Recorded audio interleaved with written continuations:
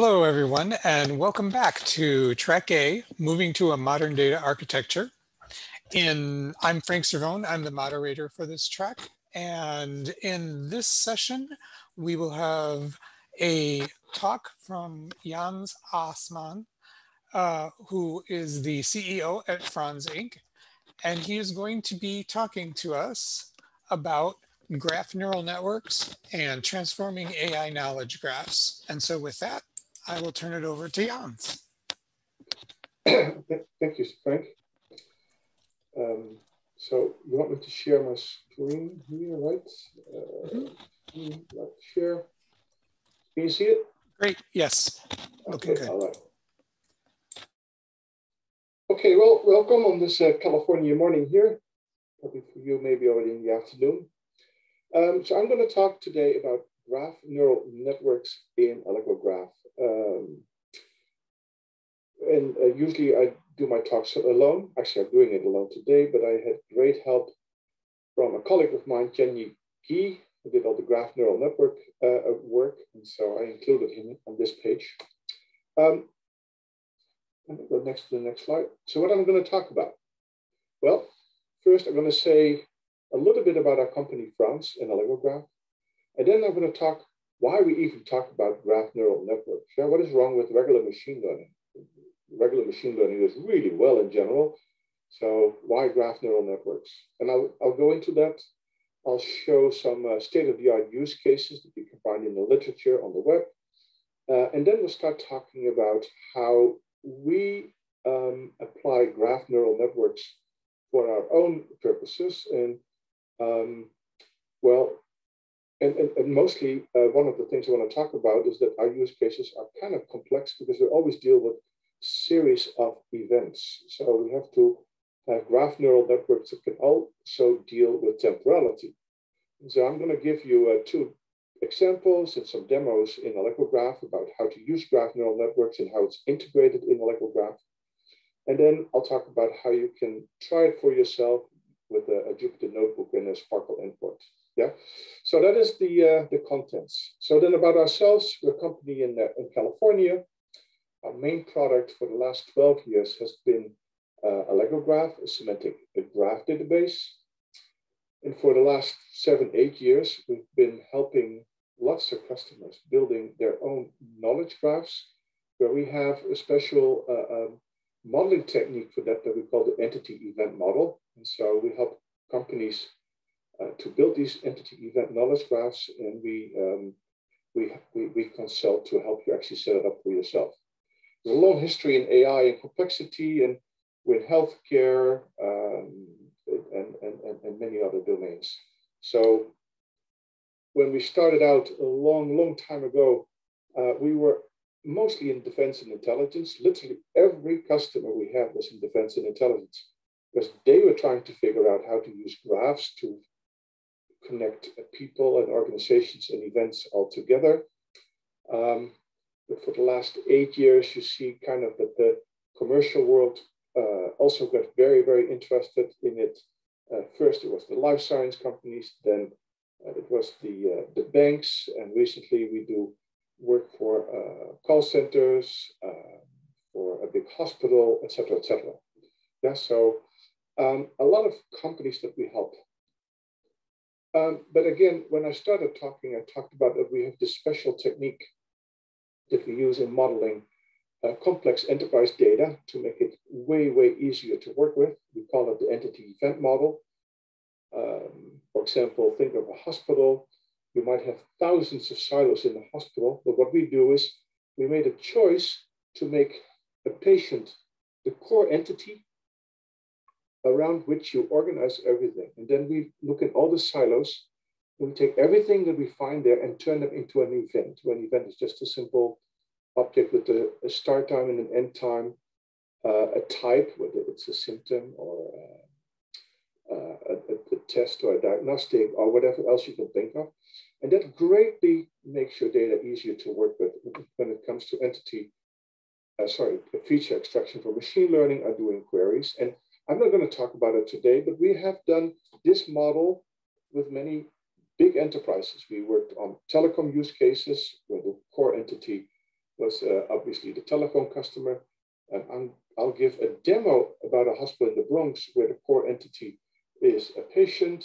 Um, we're working with a big call center in Atlanta called N3, where our core entity is the customers that you're trying to sell to. And so we use it there as in a kind of an intelligent call center brain. And we even, for government contract, we look at incident and maintenance tracking in aviation, where again, an aircraft is the, is the patient, if, if I may make that joke. So anyway, um, this is where we do most of our work in this entity event modeling and, and, and taking enterprise data and put it into simplified model. Um, and if you look at that, what you see that they all have something in common, and that is you always want to know, okay, how do I classify this patient or this telephone customer, yeah, or this aircraft? Can I can I classify it in some way? And even more important, can I predict the next event? Can I predict if a patient is going to get in trouble or an aircraft might get into trouble or uh, what is the next customer, the telecom customer that is going to call your call center going to call about, etc., etc. And then in addition, you want to understand and explain why your customer, the, the, the, the entities did something. Yeah? So we do all kinds of graph analytics and machine learning to help with those questions. And they work fantastic. But because this is the world of graphs that we live in, we need a new silver bullet. And for the last two years, I think the, the most of the exciting things in data science has been this thing called graph neural networks. Now, just as an inter general introduction, why do you need graph neural networks? Well, if you look at regular ML, then you see it's almost perfect for Euclidean data sets, meaning everything that you can easily turn into a vector or a vector of vectors, yeah, works reasonably, really, really well with machine learning. Yeah, you can take grids like an image, a voice, a video, and turn it into a vector, or you can take sequences of word sentences, documents, but also other events like a call or vital signs in the hospital, etc. And you turn those into features, right? And then you can do your machine learning on it.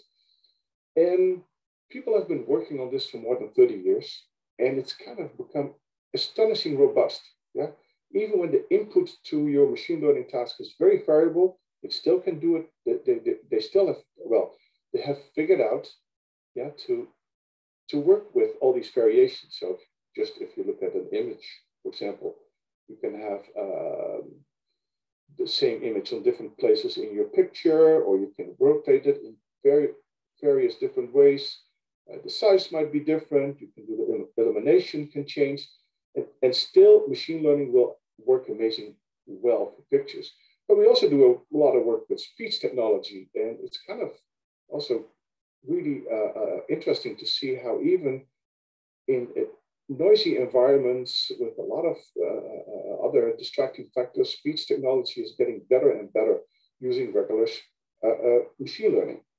Yeah, but machine learning, the regular machine learning, will fail on non-Euclidean data sets, and, and, in this case, read graphs. Yeah, for example, what and this is when I have to try to explain graph neural networks. In the beginning, I found it kind of hard I'm getting to the point that I'm now beginning to understand how to explain it. And this is just, for example, think of friends and enemies. Yeah. So what if I try to classify a person or an organization or a gene or a company or a drug based on her friends and enemies and their friends and enemies, right? So, for example, take this picture here of uh, ISIS and all the parties that have an attraction or a repulsion from, from one to the other. And how we should classify, and, and what you see is that you might have attractions to someone that then has an attraction to someone else that's actually friends of this guy here, or vice versa. Yeah? So how do you classify each of these things here? You can't just, you have to look at your neighbors and the neighbors of your neighbors to really understand who's positive and who's negative with respect to you as the person asking the question. So, and the same thing applies to when I try to find a friend based on his friends and enemies and their friends and enemies recursively. So this is for me the kind of the basic way to explain why you, you can't put this in a regular vector. It's too hard. Yeah. Or well, I hope you get the point that it's it, it, it doesn't fit well with the regular machine learning paradigm. So summarizing, yeah, so it fails, for example, in knowledge graph, when you want to classify an entity or you want to predict a relationship between entities, when the context is really important. And the same thing, when you look at social networks and you want to find the shape of the social network or whether there are clusters in the social network, right? So these are the main tasks that graph neural networks do. And just think of social networks. You have a big social network, everything is connected to everything else. How are you going to find a cluster by just looking at? If you just only look at the properties, the, not the links to other objects, but just the properties, then machine learning can be used. But if the clustering is based on how every element in the cluster is based in relationship to others, then it becomes a really hard task. And, and graph neural networks will help you with that. So there's many use cases. So here is a people use graph neural networks in biology and chemistry, in knowledge graphs, in natural language processing, social networks, recommendation systems. And if you go into detail, you'll find they always need node classification and graph clustering and link prediction. So here are the, the main kind of functionalities that you get with the graph neural networks. For example, let me give you some use cases from the literature and then I'll dive into our own use cases. But for example, you have this graph here in the social network. Yeah? Um, and you want to know, should there be a line between D and C? Yeah? Or should there be a line between B and A? So what you can do is you can take these two clusters apart. And now you have two little clusters. And the question is, is there a link between B and A or D and C? Well, with a graph neural network, you can look, for example, oh, hmm, does B and A have the same common neighbors. Well, in this case, you have three common neighbors, and these have zero common neighbors. You could look at the Jaccard uh, distance. It's a, it's a technique to look at similarity between objects, where you look at the overlap between the same kind of attributes and links. For this one, it's 0.6. Here, it's zero. You can look at preferential attachment, which is a technique that, that kind of is a a, a, statistical version of the winner takes all. And in this case, the number is way higher than here. Or you can look at the centrality. Katz is a, is a measure for centrality. And you see that B is pretty central and A is pretty central in this graph, whereas D is only connecting two links here and connecting two links there. So all in all, you kind of intuitively see that, well, there's probably should be a line between B and A, and there probably should not be a line between B and C. I hope this helps. Um, and then other use cases. So there's text classification. Now, if you have a text with, with uh, simple sentences, you could do basic text classification, and we do that all the time. Uh, Jans, we uh, yes. we lost your audio. Oh, that is terrible. Um, you're not on mute in Zoom, but uh, so it's. Um, do you want me to plug in? Uh, when, when did you lose me? That's good. Oh, yeah. Yeah, I can, I can hear you. But do, do you want me to put in um, another microphone? You, you said it was really good earlier. Uh, no, you said you sound good. Uh, okay. Maybe network issue. Okay, so if you want to classify text, yeah, you can use regular machine learning, but if the text get more complicated, like here's a true great goals scorer for club in England, and it's fitting that he's now the highest goal scorer for both United and England. It's, it's hard to classify this sentence because there's all kinds of interlinks between all the elements in the text itself. Yeah? So this is an area where people use graph neural networks if they want to do text understanding. And if you just look at a regular sentence, normally when people do NLP on data, they would use entity extraction, where you try to find the uh, uh, important words in a particular sentence, and that works fine, has great utility. Sometimes you go deeper and you say use uh, word2vec to kind of go with a window over your text and find similarities between several words and, and, and try to do predictions on next word. That works well too, but it's still simple. Whereas if you look at a complicated sentence here, what you see is there's all kind of backlinks and forward-looking links in the text. And again, you can get way more out of your sentences if you use if, if, if you take into account that a sentence is usually a complex graph. Um, then something that I found really, really interesting is where you do scene graph generation. Yeah, so if you, for example, take um, a picture here where a man sitting on a horse, uh, or here uh, someone, uh, uh, well, playing golf, or here someone uh, playing tennis, you can take these pictures and the people can then turn them into a graph rep representation of sentences. Yeah, so you start with a simple picture, and then you go all the way to a, a word description and a word graph of this particular scene. And the way people do that is kind of a very nice mix of uh, uh, uh, regular machine learning to look at the individual objects in the graph and some graph analytics to actually look at the relationship between all the elements in the graph, right? Because that's too complicated for regular machine learning.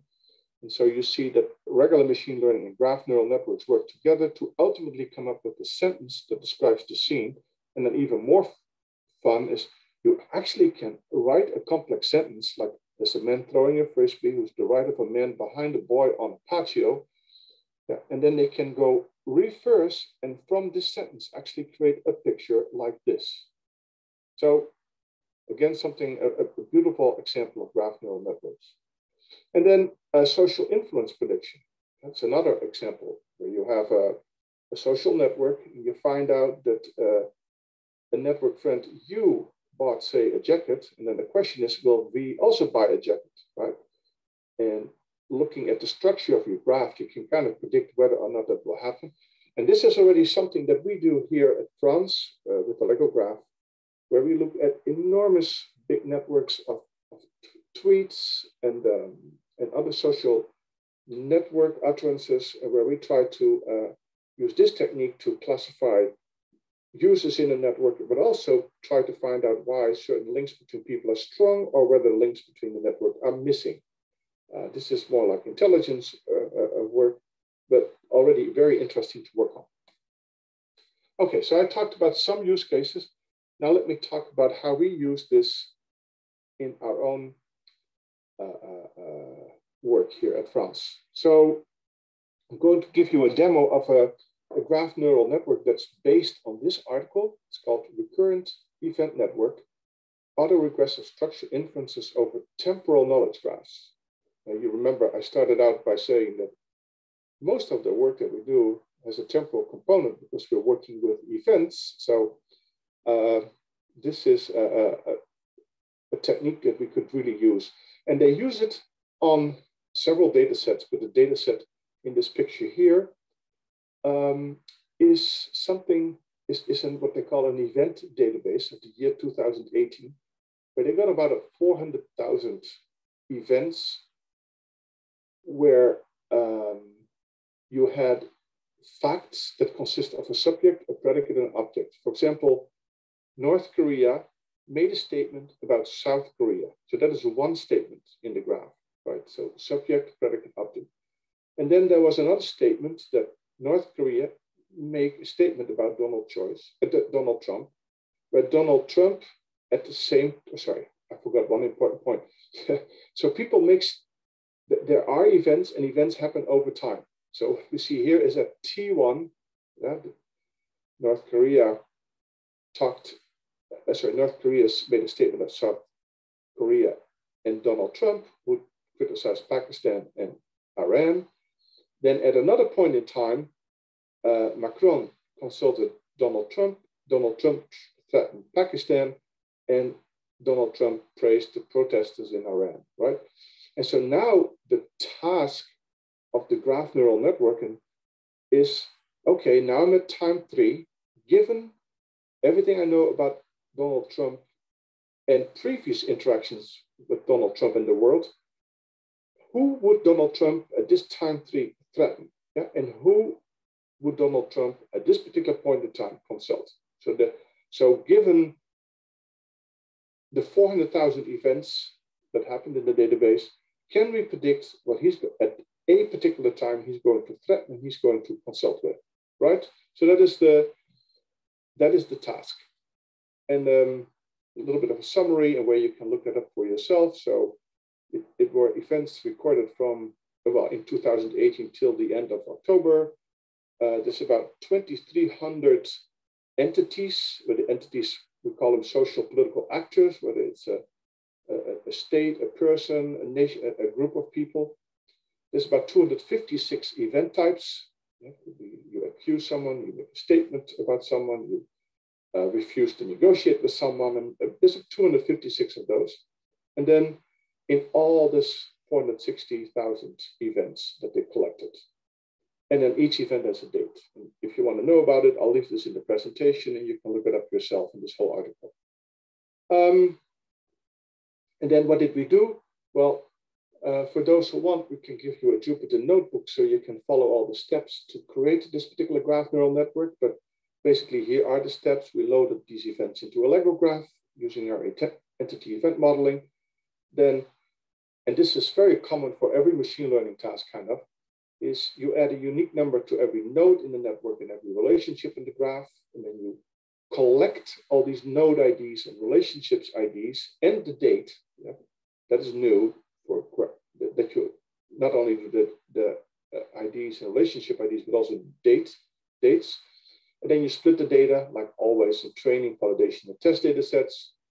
Then you define a graph neural network model and data set abstraction by using PyTorch Geometrics API that we integrate with, with our, uh, so Allegro Graph is deeply integrated with Python and in Python deeply integrated with all these packaging models where all these data, uh, these uh, data science techniques are integrated. Then you can start training the graph neural network on the training set. You take the learned model, start with Allegro Graph, and then we added some what we call magic predicates to the query language SPARQL, the, the query language for the semantic web. So you can actually do queries on the database about things that probably didn't happen, but you can just query for predictions, like it was a regular fact in the data. So for, for, for example, some example facts would be, um, actually, let me just go to the demo. And let me do uh, so this. So what you're seeing here is a tool called Gruff. Um, it's it's a, visualization tool on top of our database Allegro Graph, and I can uh, get some data. I pre-collect it.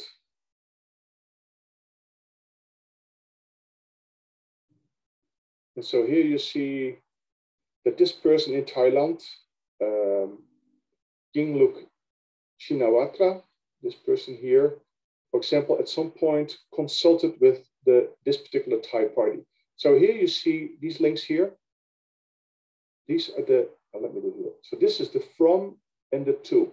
So if you want to read this graph as a network, yeah, or sorry, as a series of facts or sentences, then um, you can go here with a, a black line to uh, the, um, uh, sorry, you have to start with an event, yeah? And the event goes, sorry, let me take a step back. Read the sentences. Sentences always start with an actor, and then the black line means that it's the subject of a particular event, a consulting event, and then the blue line means it's uh, this is the object of the consulting event. So the sentence would be Yingluck consulted with this party. At some point, Yingluck made a visit to Japan. Yingluck consulted this particular person here, right? Um, this is a person here. Uh, or uh, Yingluck wants to expresses an intent to meet or negotiate with Theresa May. And I can push a button here, we get May here, right? Or I can use it for this party.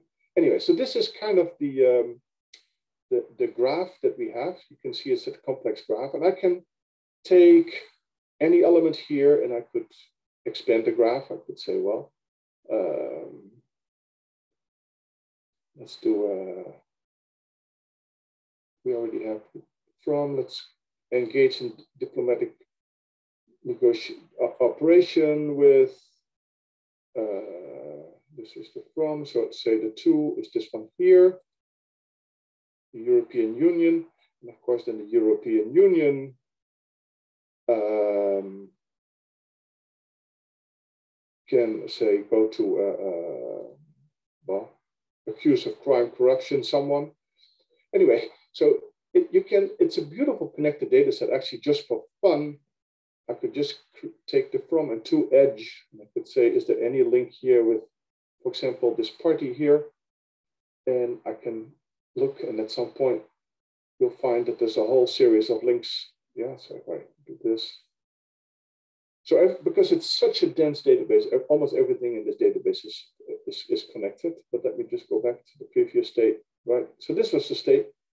So I hope that makes clear how this data set, this event data set is a beautiful graph with data in it. Oh, by the way, one thing I forgot, and then every every element has a date. So yeah, every, every relationship or event in this system has a date. Okay, so now let's continue. So the next thing is you want to do predictions. So let's take another fact. Let's get rid of this and let's look at Erdogan. So we we see here a little um, graph where you see that Erdogan rejects proposal to meet or discuss or negotiate with Cyprus, and the same thing with Donald Trump. Yeah, and like I explained in the beginning when I was talking about that article, you want to then say, okay, so if this is the subject of the sentence and this is the, the verb, then who else would he not like to talk to? Yeah, for example, Cyprus. Uh, sorry, he, he doesn't want to talk to Cyprus, but are there other people that the graph neural network would predict he doesn't want to talk to? So the first thing you want to know, how many people actually don't want to talk to Cyprus? Yeah. And um, actually, yes, okay, let, let me do this. Let me take this. I can take this query here. I take this these two elements and I turn it into a query. Oh, I already have the query there. Yeah. So in the database, I can say, give me all the people that don't want to talk to Cyprus. And I can run this query and I find that it's only Erdogan. And I could actually do the same thing for who doesn't want to talk to, negotiate with, let me see here, who doesn't want to, oh, that is the graph neural network. Let's first who doesn't want to talk with Donald? Anyway, just believe me, there's also only one person that doesn't want to talk to Donald. But here's the thing. I can now ask the graph neural network and I can do a query So I say, given the event 307250, let me go back to the graph here. Oh, Control Z, let me go back to the graph. And so this if you look at the bottom of your screen, you see that this is event 307250. And this is event 20378. This is the refusal talk to Donald Trump. So just let's, we take this event here in the query view, and we say, given that we have an event where the, the subject is Erdogan and the object is Cyprus, who would we predict that also do not want to talk to Cyprus? Yeah, so we run the query and we see all the people that don't want to talk to that the graph neural network predicts that they don't want to talk to, to Cyprus. And you see a whole bunch of people here. Fortunately, also we see that Erdogan is in that list. But it makes sense, right? It's all the Mediterranean countries that they're probably in trouble with. So because now we can also look at who doesn't want to negotiate with Donald Trump. And then we take this statement. We say who doesn't. So this is the event that says that uh, Erdogan doesn't want to talk with Donald Trump. And now we're saying, okay, give me all the subjects that also don't want to talk to Donald Trump. And I run the query. And then I find a completely different group of, of people. Again, we find Erdogan, but also North Korea, Kim Jong un, uh, and, and lots of other people that it thinks, now, is that correct? Um, but this is explainable given the graph and all the other things that somehow people at some point didn't want to talk to Donald Trump, right? So let me go back to my presentation. Um, where's my presentation? Oh, this one here. No, that's not it. No, this is the, oh, here's the PowerPoint, yeah. So, um, so I showed you a query with the the graph neural network, oh, actually, I forgot to tell this, this predicate that I showed you, uh, like predict subjects or predict objects, that's actually what we call a magic predicate. So it doesn't really look in the database, but when SPARQL sees this particular predicate in the query, it says, oh, I have to call the graph neural network to actually do the prediction, right? Sorry, I should have mentioned that before. So anyway, if you want to summarize what the graph neural network does in this particular case, then basically we see that we have a semantic reasoner that, well, if, if you compare it to a semantic reasoner, then what you see that a semantic reasoner creates additional knowledge and facts based on logic inferences. So you can think of a graph neural network as a probabilistic inference engine that takes a fact and then based on that fact says, okay, what else can I say about the subject or the object of this particular fact? I hope that is clear. Um, and then I include these slides in my presentation so you can look at, uh, slower speed later what I was doing. So we, we do the same thing here. And I show, explain that the, there was on, that Erdogan only doesn't want to talk to two other people. Um, and I give you the results of these queries. So I can just skip this. Uh, here we can find the people that don't want to talk to Donald and not to Cyprus. Uh, but I already did that in my demo. I just leave it here so you can look at it slower later. Um, and then uh, concluding for this particular demo, um, so we'll make available a SPARQL endpoint and a Jupyter notebook. So with the SPARQL endpoint, you just can go to that endpoint and uh, click on Gruff in the browser. So you can actually see the same user interface that I just showed you without having to install anything. And then you can do the type of queries that you see in my presentation. And then you can play around with that event graph. It's really, really fun to, to look and see all the geopolitical uh, uh, relationships between all the, the entities. And we'll have Jupyter Notebook available on that same machine. So if you want to ask these graph neural network queries, you can use that too. And you can see how we uh, created that uh, graph neural network. Okay, so how much more time do I have to talk? We okay. have about eight more minutes. Then I'll just go in three minutes through uh, another thing and then we'll open up for questions, right? So, um, so we're using now also this graph neural network in the medical domain. Um, and we're right in the middle of it, where, for example, we can we already know for about two million people we have correlated every symptom with other symptoms. So we can already ask the database that if I have allergy to peanuts, give me the top five other diseases that are highly related to that. And I can look at that and I find a series of symptoms that are very highly correlated with, uh, with peanut allergy. Yeah? Dermatitis due to food taken internally is two, 210 times higher. And I can display that in the graph. Here you see allergy to peanuts is highly correlated to these diseases here. I can actually even ask how are these diseases that you see here related uh, well, are there more connections between these uh, uh, symptoms here? And let me just show you that you can actually look at those connections. And I'm not going to do it in the demo, but that will take too much time. Um, and then you'll find a much bigger network that kind of is a statistical graph of how symptoms fit together in a large data set. But I can do the same thing also with uh, uh, taxonomic relationships. So here is a huge knowledge base that we have about every disease, drug, side effect, uh, clinical trial that you have.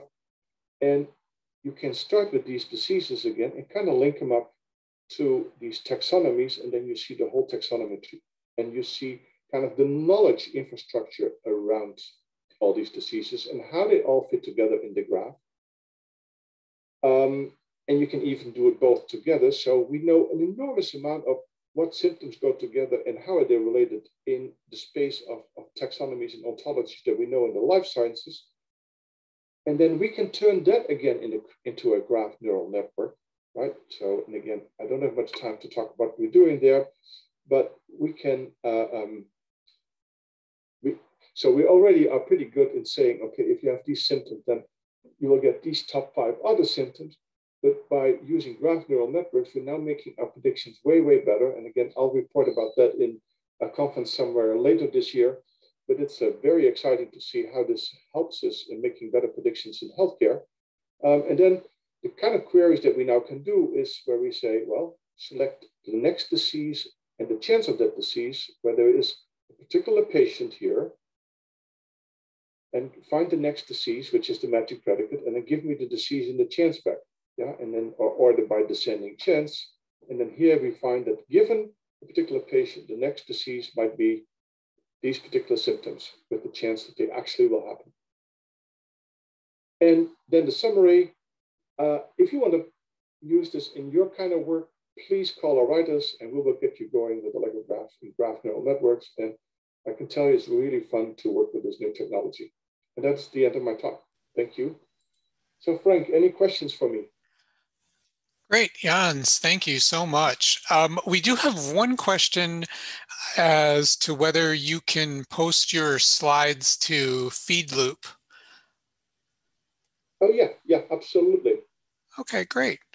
And um, I'm wondering, so the example that you just provided to us uh, in the clinical health care domain, have you worked at all on any projects that incorporate this technology into like clinical decision support systems used oh, yeah. at the point of care?